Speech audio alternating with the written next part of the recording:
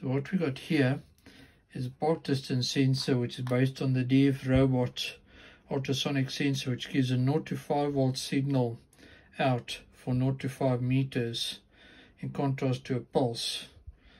That's going into analog 0 on the UNO over here.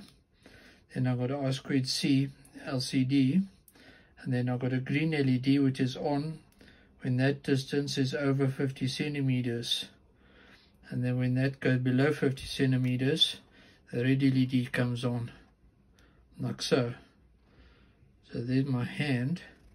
This hand over here. And I'm moving it away. And the green LED comes on. So we got LEDs indicating that you're far away or close and you got your distance.